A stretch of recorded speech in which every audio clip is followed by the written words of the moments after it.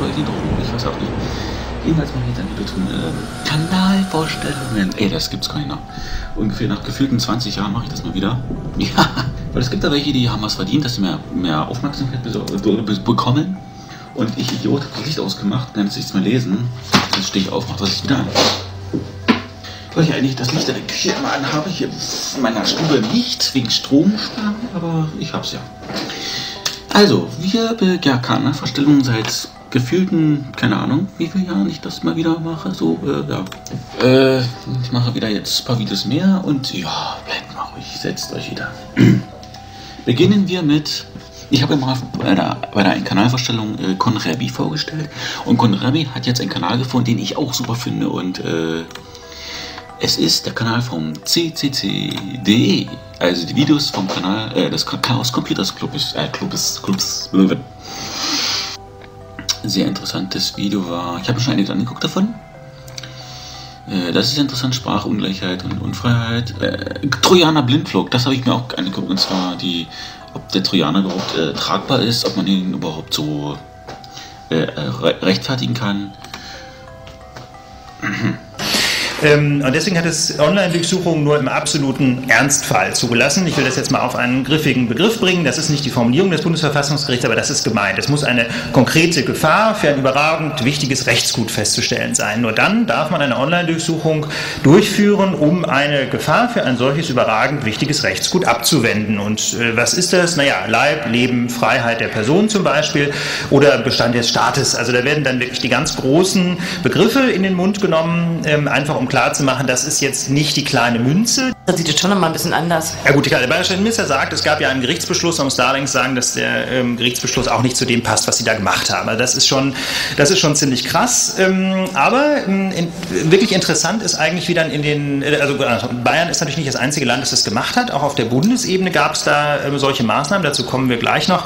Ähm, wir wollten jetzt aber gerade mal überleiten zum Bericht des Bundesdatenschutzbeauftragten. Der hat sich nämlich mal angesehen, ähm, wie denn konkret der Trojaner-Einsatz im Bereich der Bundesbehörden aussah. Ja, also das sind halt die äh, Videos vom CCC. Mal gucken, ob ich noch was Interessantes finde, was ich mir angeguckt habe schon. Das mit der Sprache war sehr interessant. Äh, finde ich jetzt nicht. Äh, da geht es um das Framen oder Framing. Ey, warum finde ich denn das nicht? Ist das eine Scheiße? Ich könnte durchdrehen schon wieder.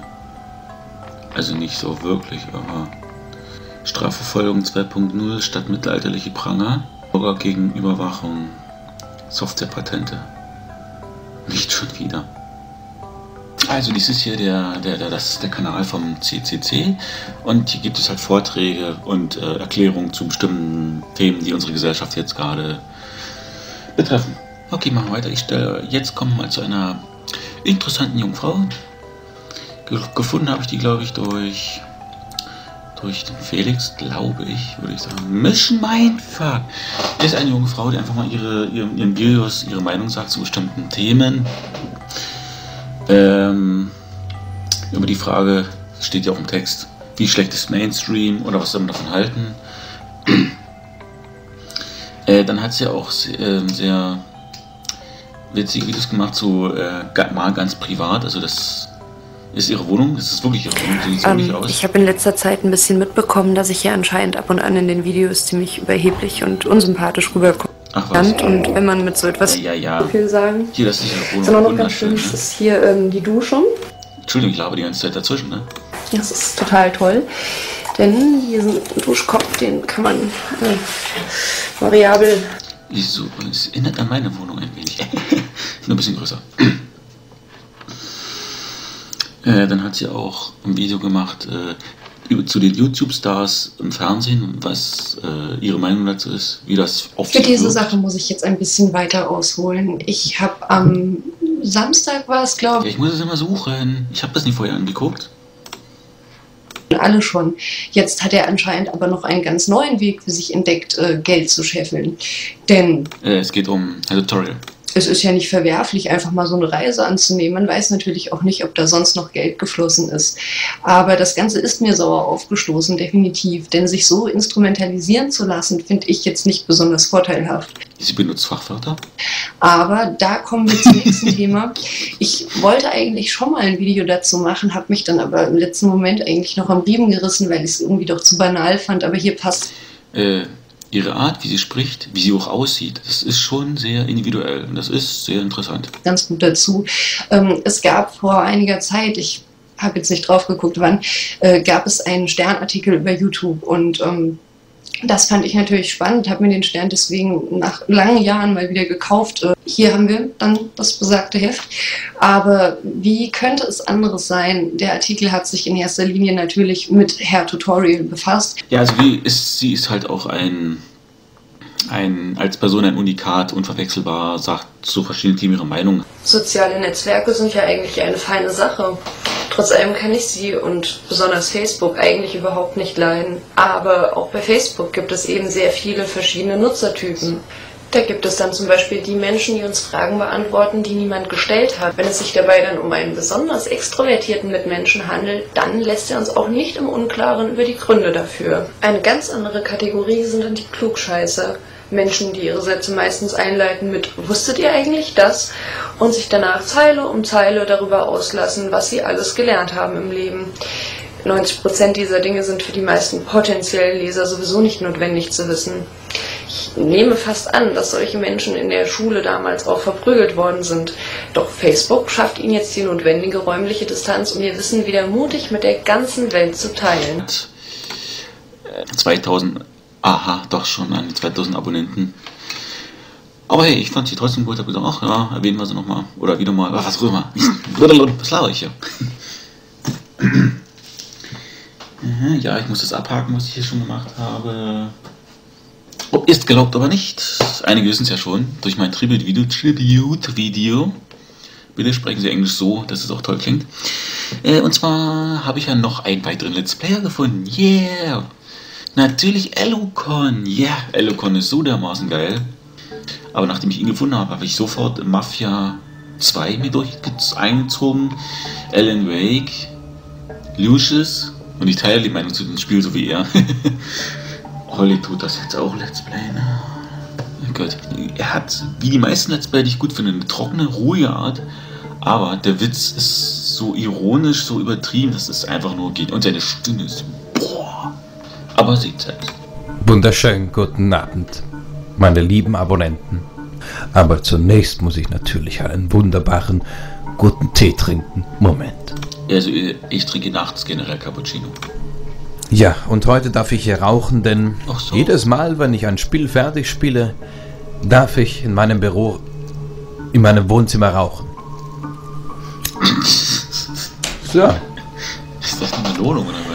Das heutige Thema betrifft fette Leute. Ich habe es ist schon sogar, wie er das sagt. Zum Spaß mal bei so anderen ähm, Let's Playern geguckt und gelesen. Man abonniert ja auch die Konkurrenten, damit man immer sehen kann, ähm, wie, da, wie schlecht die immer werden. Let's make in the Windel? okay. Hitman, Assassin's Creed, Battlefield 3, Lucius habe ich mir angeguckt. Also das Spiel ist scheiße, so von der Herausforderung her, das sieht man schon beim Zugucken schon. Aber er ist witzig, das muss ich mal, sagen. Alan Wake, Max Payne 3, Mafia 2, Medal of, Medal of Honor.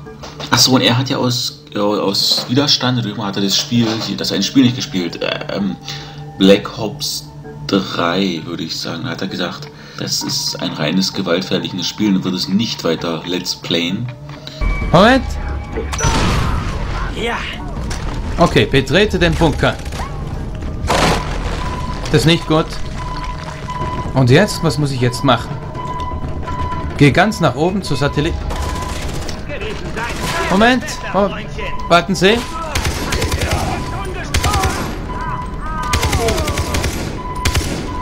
Ich lade nach. Keine Ahnung, wo ich hin muss. Kann ich den Alarm ausschalten? Ach du Scheiße. Das ist nicht gut.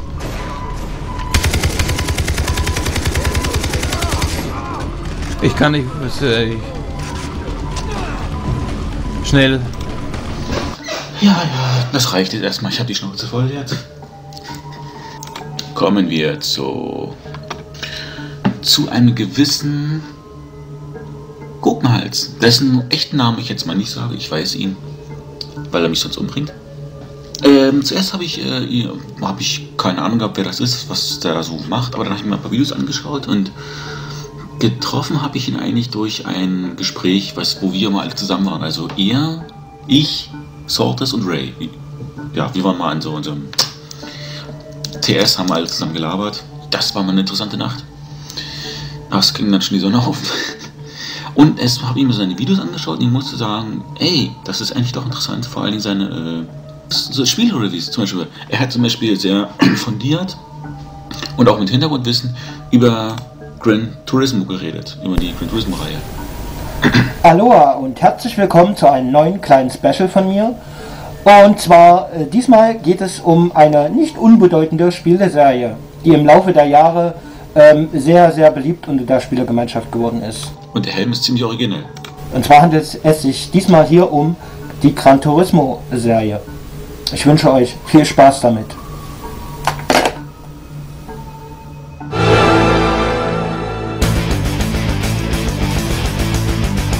Ja, das jetzt mal als Einstieg.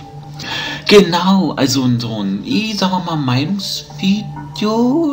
Äh, Ich zeige euch mal, worum, das wird jetzt sehen, worum es geht. Dieses Video ist keine Parodie. Sie spiegelt lediglich meine eigene und persönliche Meinung wider. Für alles andere überlasse ich euren eigenen Kopf zu denken. Habt viel Spaß damit.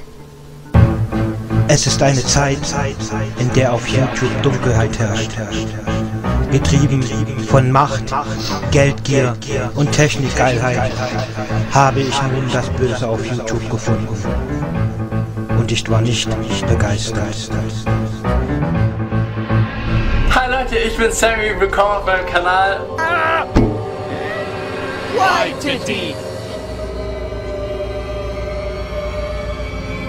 Irgendwas stimmt hier nicht. Ey Leute, was geht?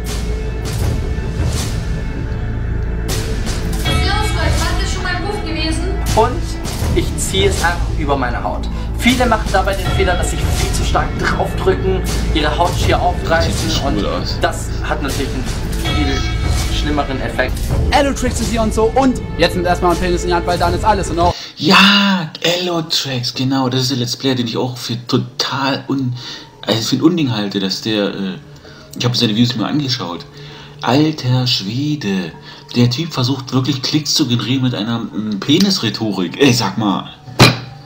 Ey, und lustig ist er auch nicht. Ja, Gurkenhals, du hast recht. Elotrix sollte mal so richtig eins in seine Visage bekommen. er ist erst wahrscheinlich 14 oder so.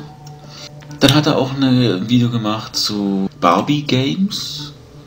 Oh ja. Welcome to the world of Barbie-Spiele und warum ich sie so liebe.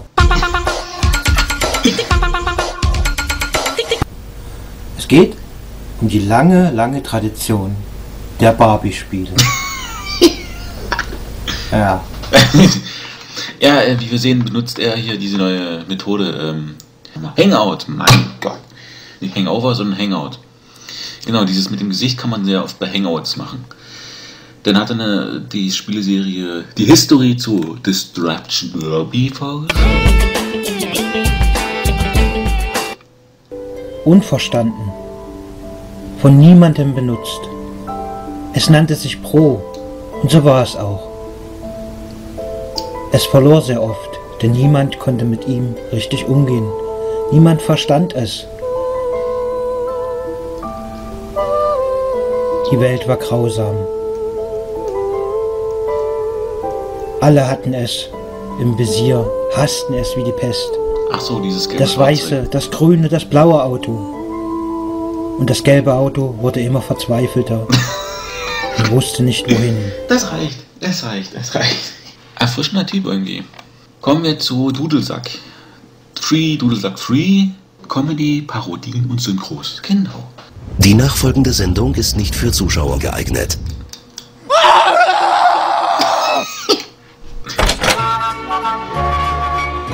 Ich bin high.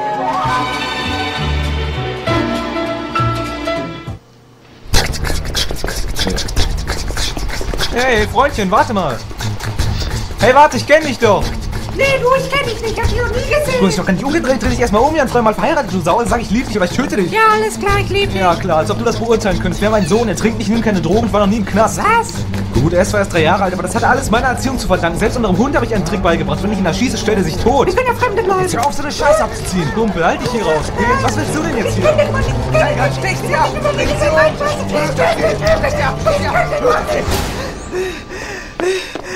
War ich high oder was? Mhm. Ich als dein Drogenarzt muss dir sagen, dass du dich nicht mehr mit so viel Heroin vollstopfen lassen darfst. Doch, doch, ich kann nicht mehr. Oh Gott. Ja, der war auch high. Ich kenn den doch, der war in meinem Drogentraum gerade. Nur träumen, nicht anfassen. So man nicht mit einer Frau, hörst du? Beruhig dich mal, Junge. Ich nehme nie wieder Drogen. Doch, Realität ist nämlich nur Ah. etwas für Leute, die nicht mit Drogen umgehen können. Widerlicher Herr des Grauens, hier ist euer Kaffee. Was? Ich habe gar keinen Kaffee bestellt. Äh, doch, das habt ihr, vor drei Tagen. Vor drei Tagen? Guter Gott, was hat es denn so lange gedauert? Nun ja, ihr wolltet euren Kaffee nur aus dem südwestlichen Quadranten. Ah ja, Luigi macht den Kaffee eben so, wie ich ihn am liebsten mag. Der Dread Cruiser ist beinahe 2000 Kilometer lang. Das entspricht der Größe eines Planeten. Ich muss also einmal durch das ganze Schiff. Es ist ein Albtraum. Oh, weißt du was? Also irgendwie, wenn ich diesem Trooper, diesen weißen Klamotten zuhöre, klingt die Stimme irgendwie nach Aidin von Deport. Aber er hat gesagt, er ist es nicht. Super zum Kaffee passen würde? Kleine sorgfältig gefaltete quadratische Schokoladenstückchen. Also, ihr wollt, dass ich zurückgehe. Zum südwestlichen Quadranten. Wobei ich euch sagte, dass es ein Dreitagesmarsch bis dahin ist. um euch einen Kuchen zu bringen, der in drei Tagen da ist. Ja. Welchen ihr zu diesem Kaffee esst. Ich hoffe, das wäre möglich. Dann muss ich dich nämlich nicht töten. Lars Golenia. Jemanden, den ich sehr interessant finde. Der hat auch eine sehr glaubwürdige Art und ich habe mir Sachen angeguckt. Sehr gut ist die, aber die könnt ihr euch selber angucken, die Kinokritik zu The Impossible, sehr, sehr gut, also sehr sachlich. Er geht darauf ein, was übertrieben ist. Also seiner Meinung nach ist, ist The Impossible ein Schnulzenfilm allerbester Güte. Und ähm, ja, der Film ist. Oh, wie, wie drücke ich das aus? Und das muss man sich, muss man nicht ernst nehmen. Also das ist so wie ein Film, so ein Hollywood-Film, den. Naja, nehmen wir mal das.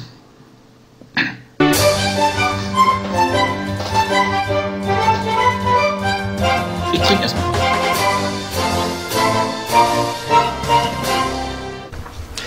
Guten Abend, meine Damen und Herren.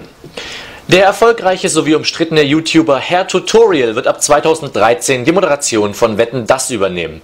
Nachdem die Zuschauerzahlen von Wetten Das die Abonnentenzahlen von Herrn Tutorial unterschritten hatten, sprach ein Sprecher des ZDF von einem, so wörtlich, logischem Schritt. Für den neuen Moderator wird das Konzept der einst erfolgreichsten Show Europas komplett umgekrempelt. So sollen laut Insiderberichten keine Prominenten mehr in die Show eingeladen werden. Des Weiteren soll auch auf die Saalwetten, die Außenwetten sowie auf ein Live-Publikum verzichtet werden. Stattdessen denkt man darüber nach, Filmbeiträge über Mode und Produkttests für Kosmetika mit einzubauen. Der 23-jährige YouTuber selbst war für ein Statement nicht zu erreichen. Der erfolgreiche sowie umstrittene YouTuber Julians Blog ist eine fiese Sau. Das ergab eine Umfrage unter allen Bewohnern meiner Wohnung. Umfragenkriterien waren Wortwahl, Einstellung, Außenwirkung, Sympathie sowie das äußere Erscheinungsbild. Der Rapper und Amateurpsychologe kam in besagter Umfrage auf den ersten Platz der fiesen Säue, direkt hinter Dr. Allwissend und Lord Abaddon. Äh, Moment, das ist jetzt ein bisschen gemein. Der erfolgreiche sowie umstrittene YouTuber. Ich bitte um Verzeihung. Der erfolgreiche sowie umstrittene Let's Player Gronk ist tot. Er starb gestern bei dem Versuch, ein Black Mesa Let's Play hochzuladen. Zunächst schien alles gut zu laufen, aber als der Upload bei 94% abbrach und sein Computer sich auffing, erlitt Gronk einen cholerischen Anfall, in dessen Verlauf er vom Stuhl fiel und sich das Genick brach. Gronk hinterlässt sieben unveröffentlichte Let's Plays und unzählige Droggelbecher. Egal, Lars Golenia.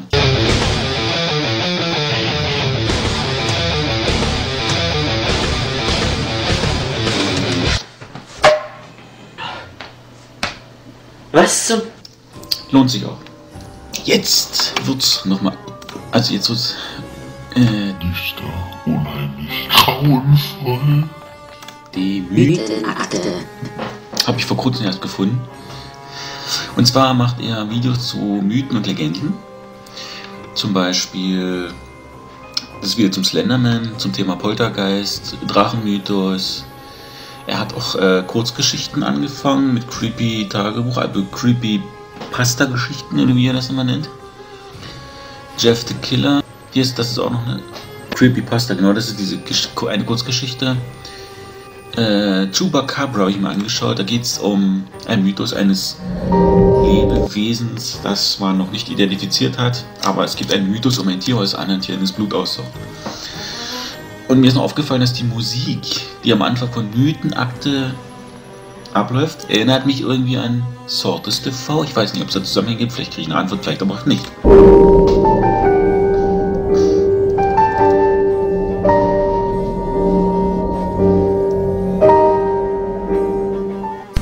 Hallo zusammen.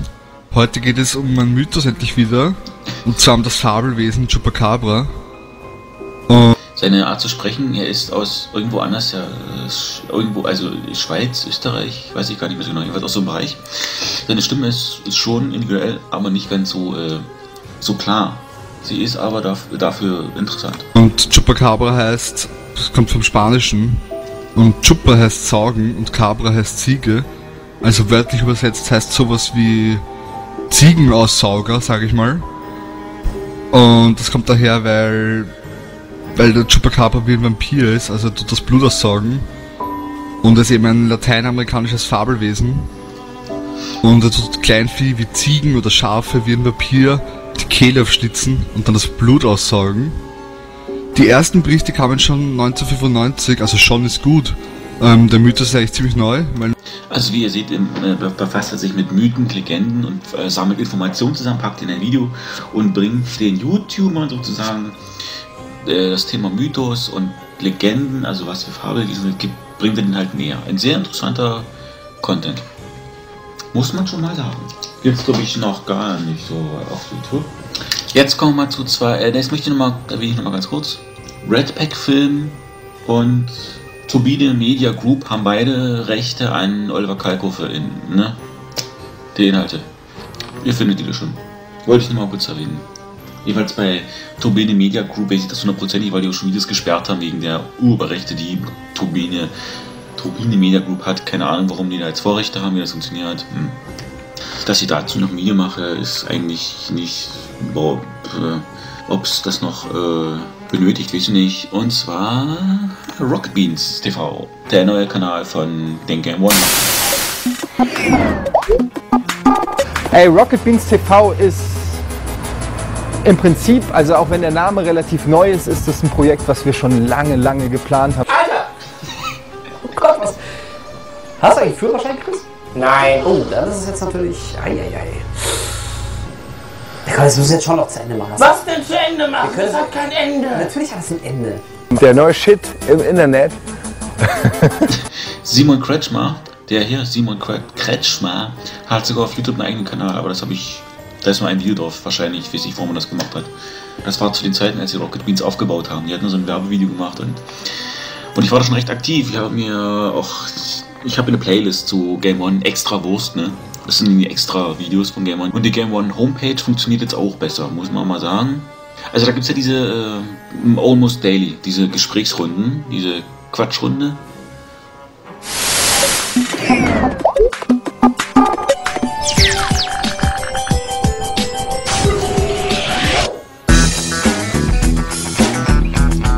Warum das wohl ausgewählt wird. Und es hat wohl auch seiner Meinung nach hauptsächlich mit den Effekten zu tun. Dass, äh, und es klingt irgendwie logisch, wenn, wenn das drumherum um- für dich lebensechter wirkt, und das wirkt es ja irgendwie, weil es eben so klar ist und, und eben von den Frames auch so ja, lebensecht, ich kann es nicht anders ausdrücken. Äh, was ja ein bisschen negativ ist, weil man es eben verbindet mit Trash, trashigerer Technik als Kino.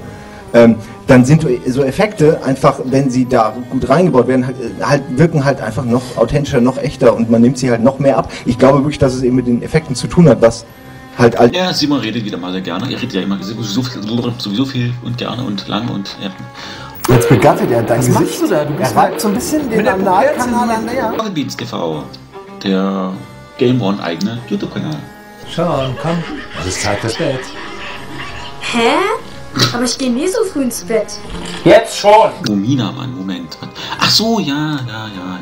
Aber Romina Mann ist auch eine YouTube YouTuberin. Genau, sie nennt ihre Reihe Das Ding ist. Und dann.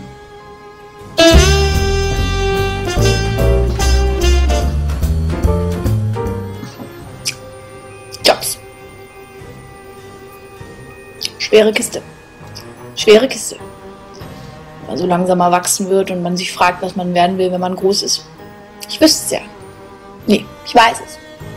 Deswegen, ich habe folgenden Plan, folgende Idee. Grandios. Pass auf, Kurti.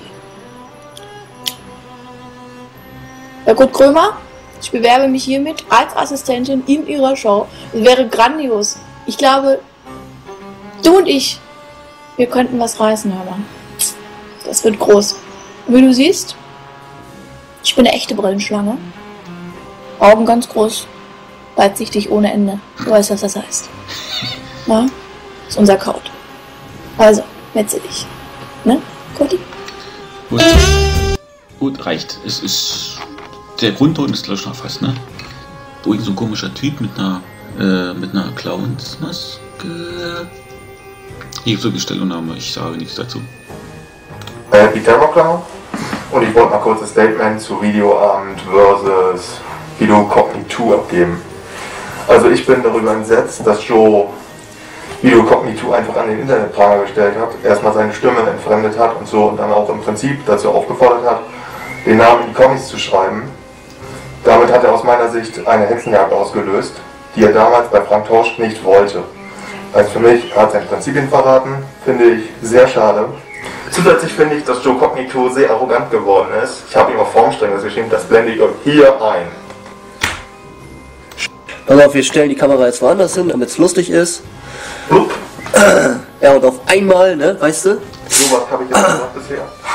Ja, du sagst, also, äh, du sagst arrogant und dann sagst du jetzt weiter, hier seht ihr das, ist, äh, hier seht ihr jetzt äh, meine Frage an ihn bei äh, Formspring. Ich sag einfach, das kann man bei Formspring nachlesen. Hier seht ihr den Screenshot. Ich mit dir aber jetzt nie wieder. Das ist ja ein Albtraum. okay.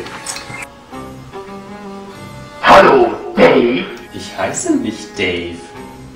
Ich weiß, ich hab dich nur wieder verarscht. Und jetzt möchte ich ein Spiel mit dir spielen.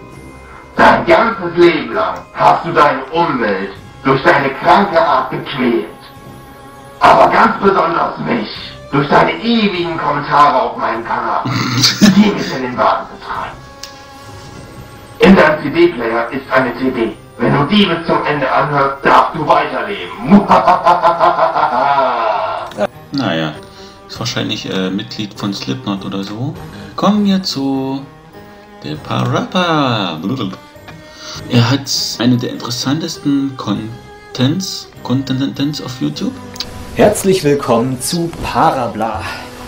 Das Magazin, bei dem ich technische Spielereien mache und es euch als Content verkaufe.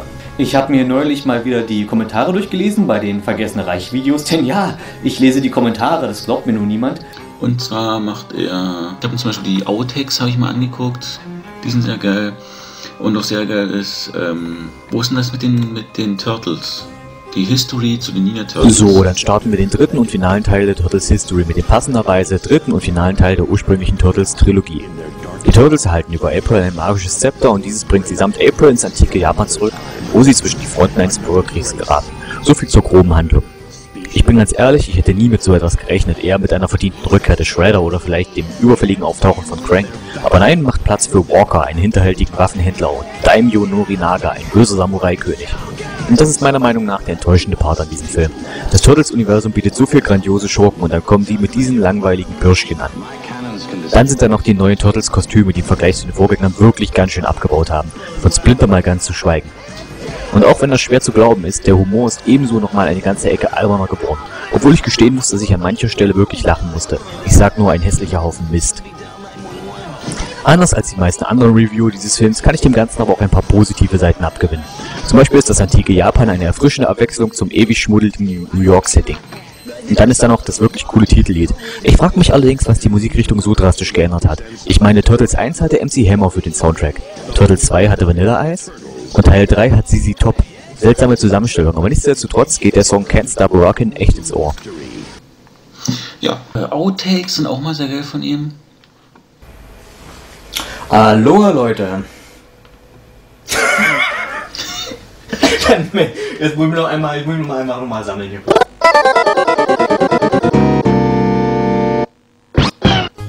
Hatten die Road Warrior an dem Tag keine Zeit? Road Warrior, ist auch scheiß mit der Artikulation. Road Warrior. Aber apropos Lex Luger, im Ring tritt gerade der Undertaker gegen seinen Kontrahenten Lex Luger an. Aber hey, dabei fördert der alte O-Toten... Der alte O-Tongeber. Aloha zurück zu Dragon Ball. Jetzt muss ich lachen. Okay. Oh, so wie! Aloha zurück zu Dragon Ball Samstag. Niemand ist so gut wie die Bumsbiene. Es gibt also aus meiner Sicht eigentlich zwei Sorten von.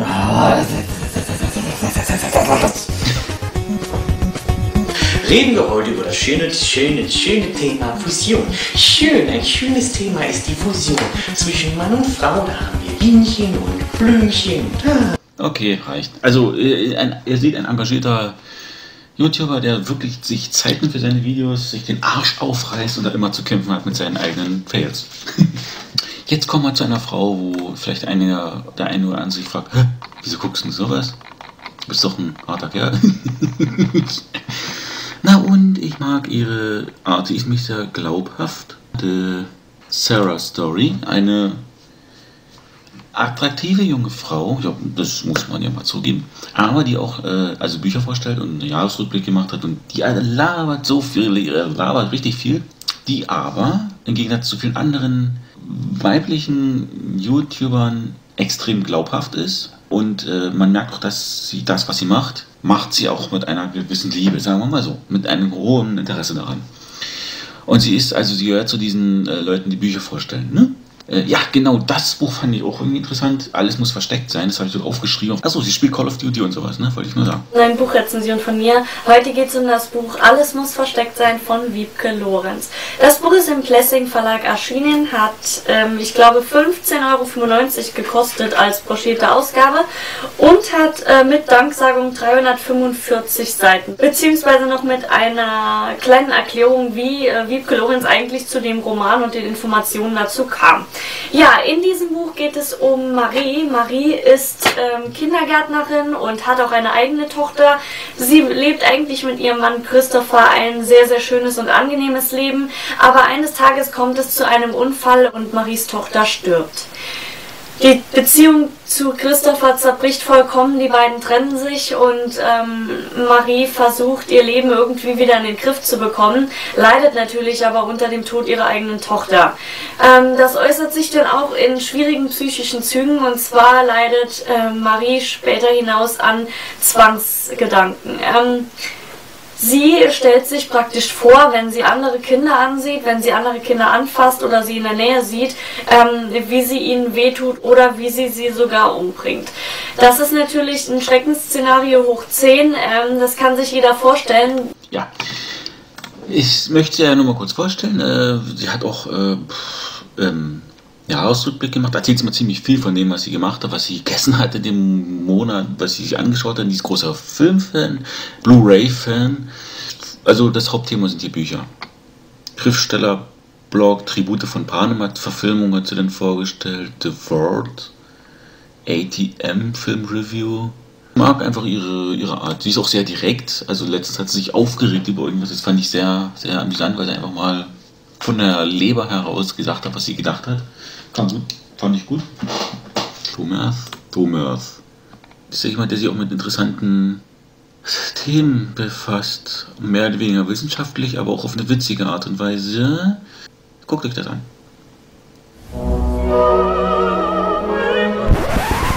Mitteilung. Das Video, warum du noch mehr rauchen solltest, wurde leider von YouTube ohne genauere Begründung gesperrt, als unangemessen eingestuft und in weiterer Folge abgelehnt. Bla bla, Warnmaßnahmen, bla bla. Community-Richtlinien, bla bla. Weitere Verstöße, bla bla, du keine Inhalte mehr posten darfst und dein Konto gekündigt wird, bla bla. Sneef, Keuch, Räusper. Der sozialkritische Hintergrund ist zu beachten und stets in den Videodetails herauszulesen. Conclusio. Durch den Umkehrschluss jedoch lehnt Universitätsprofessor Dr. Dr. Zucker die Ablehnung dieses Videos ab. Nach Änderungen des offensichtlich Cholera, Masern, Mumps und Pest infizierten Inhaltes geht es nun weiter. Prinzipiell versteht man das Inhalieren von Rauch durch das Verbrennen oder Glimmen von Tabak. Die gediegene Wirkung des Nikotins, sehr zu empfehlen in Kombination mit Koffein und Alkohol, zum Beispiel durch ein vierfaches Wodka Bull, setzt im Körper Adrenalin und sämtliche Endorphine, also Glückshormone, frei. Darüber hinaus senkt das Rauchen die Appetitschwelle. Es wirkt daher dämpfend auf das Essverhalten und lästiges Übergewicht kann von vornherein gezielt verhindert oder behandelt werden. Rauchen macht sie sexuell ausdauernder, sie haben mehr Geld und sind einfach cooler. Um diese Tatsachen in eine Formel fließen zu lassen, Nikotin plus Körper gleich Sex zum Quadrat. Wie Sie anhand dieser Raucherlunge erkennen können, gibt es keine nachweislichen Schädigungen des Organs. Auch dieser gesunde Raucherfuß und dieser glückliche Raucherwürfel sind klare Beweise. Genau. Drum, ja, kommen wir zu jemandem, der irgendwie. Also, er sieht aus wie der verrückte Professor. So ein bisschen sieht er aus. Er hat eine. Aber er hat eine. Was mir gut gefällt, er hat. Das ist, also er hat eine direkte Art, er sagt, er spricht die Dinge an, die ihn nerven. Ja gut, er hat ja sich, er hat sich mal kritisch zu ähm, Taken seiner Takens Serie hier, die zehn schlimmsten YouTuber so. Aber jeder hat das Recht, das zu sagen, was er denkt. Deswegen finde ich seine Art irgendwie, finde ich die gut, äh, finde ich erfrischend. Er ist anders als die anderen, aber er sollte vielleicht das Hemd zumachen manchmal. Hey Leute, es ist Weihnachten und ich habe eine Weihnachtsaktion Und immer dran denken, die Haare sind kein Kriterium, jemanden zu beurteilen. geplant, die mächtig in die Hose gegangen ist. Kurze Erklärung, ich habe um die 40 YouTuber angeschrieben und auch ähm, auf Facebook auf meiner Seite gesagt, dass ich so eine Aktion plane und wer Lust hat, der soll mich doch anschreiben, der kann da mitmachen. Und von diesen 40 YouTubern haben insgesamt nur vier mir was geschickt. Die Idee war genauso wie Area 61, besser gesagt ähnlich wie Area 61, halt nur mit anderen YouTubern äh, es gemacht hat. Der hat nämlich zum Video Day ein Video gemacht, ähm, wo mehrere YouTuber ihr äh, die Frage beantworten, was war ihr Kindheitstraum. Und ich hatte so etwas für Weihnachten vor mit einer Mir ist gerade ein lustiger Witz eingefallen. Nimm's jetzt nicht persönlich. Wäre ich jetzt ein fieser YouTuber, würde ich jetzt fragen, sage mal, dein Gesicht brüllt aber nicht nach Mobbing, oder? Weihnachtsfrage und wollte, dass halt mehrere YouTuber mal kurz in der Kamera sagen, was halt ähm, diese Frage beantworten. Mach dir nichts raus. Ich hatte auch nicht einfach in der Schule, aber jetzt bin ich jemand anderes. Heute spricht mich niemand schräg von der Seite an. Dass allerdings nur 4 von 40 Leuten mitgemacht haben, liegt an zwei Tatsachen, woran ich selber schuld bin. Zum einen, weil ich so blöd und naiv war und die Leute natürlich auf YouTube angeschrieben habe und nicht auf Facebook oder Twitter. Ja, ja, warte mal, jetzt reicht's irgendwie. Und heute geht es in meinem allerersten richtigen normalen Video um das Thema Allgemeinbildung. Das, was im heutigen Leben jeder braucht, aber kaum einer hat. Sei es, wenn in Facebook um die 50 Leute hinschreiben, ob die Titanic wirklich eine reale Geschichte sind, weil sie dachten, es wäre vorher nur eine Fiktion von James Cameron. Fail. Aber vorher Ah, viel besser. Passt auch zu Weihnachten, oder? Früher war mehr Lametta. Spaß, aber ich glaube, ich war der Einzige im Hort, der den wirklich in diesem Metallic Rot hatten. Und einfach, weil ich mir ja seit sechs... Leute, reicht. Ich will auch mal selber was machen. Warum muss ich euch hier immer alles in den Arsch rein? Egal. Äh, wir leben... Wir leben... Wir... Was? Was? Ach, hier unten. Ja, und zwar, ich weiß, ich weiß, das ist jetzt auch kein richtiger YouTuber, aber das Interessante ist, ist es Tele 5. Aber hier gibt es zum Beispiel auf Rüttens Bullshit-Universum, der Typ, der so arschgeil ist. Ja, habt ihr mal gesagt, das ist eher irgendwie, ich finde das toll, dass er jetzt seinen eigenen, sein eigenes, seine eigene Sendung bekommen hat auf Tele 5. Weil er ist ja die Off-Stimme von Harald Schmidt, ist jetzt da weg. Und ich habe ja mal gesagt in meinem Video, komisch, ne? Alle, die, die groß waren, sind jetzt weggebrochen und die, die ja mal gearbeitet haben, jetzt haben jetzt eine eigene Sendung, wie Bauerfeind, Rütten. Der König stirbt, die Prinzen kommen ran.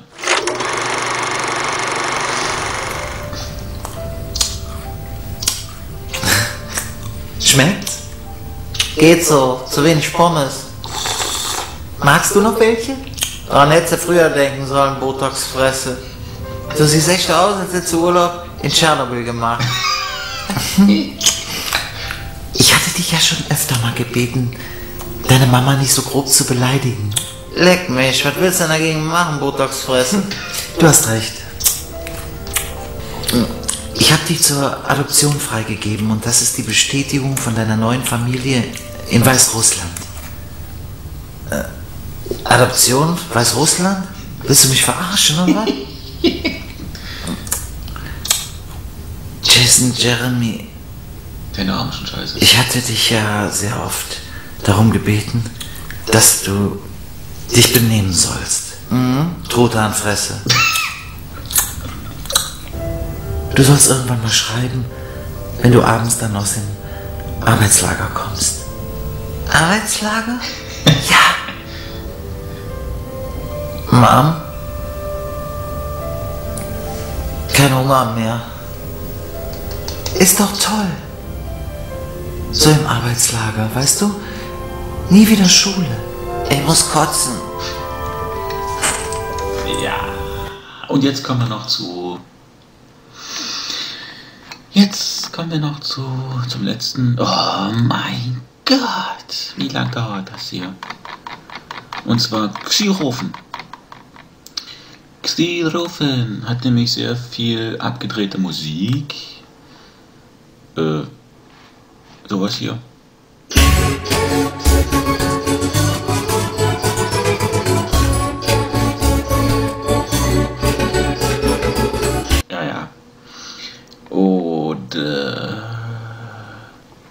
Ahmed Zub. Aber wenn die nicht einfach Ahmed Zub, ja, nein, das ist nicht schlimm.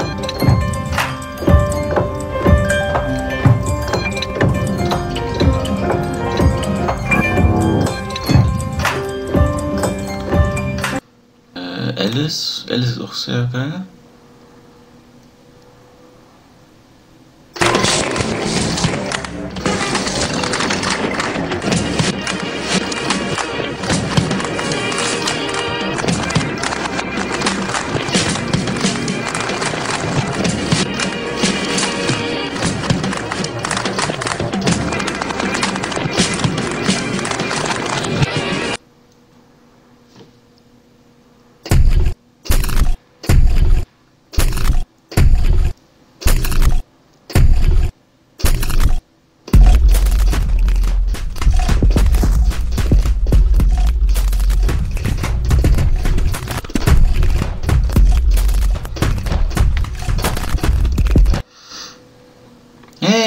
Vinicius Snares. Das Album ist geil.